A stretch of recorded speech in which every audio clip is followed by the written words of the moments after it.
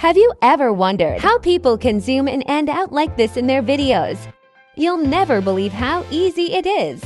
After recording your video, select the caption theme in the Magic Styler. Then, choose to style your video with captions. After a brief moment, the captions will be generated.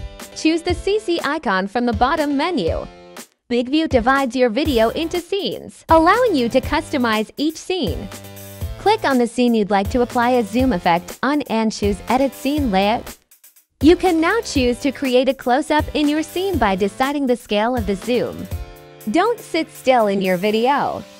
Play around with different zoom effects to keep people's interest and attention on you.